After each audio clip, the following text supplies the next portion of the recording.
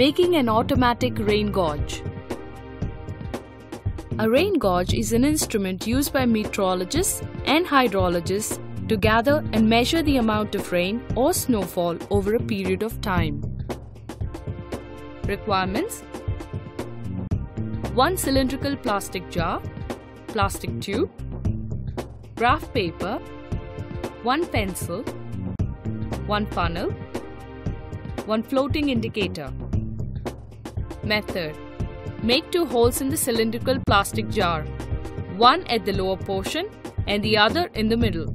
Fit a plastic tube with a funnel in the lower hole and another in the upper hole without the funnel. The second plastic tube drains the extra water in case of excess rain. Put a floating indicator in the jar having a pencil attached to the top. The pencil should be in contact with the graph paper to mark the amount of rainfall.